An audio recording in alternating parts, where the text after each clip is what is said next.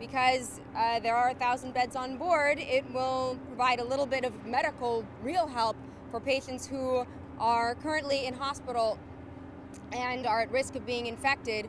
Um, they can now be on this ship um, and hopefully will remain uninfected.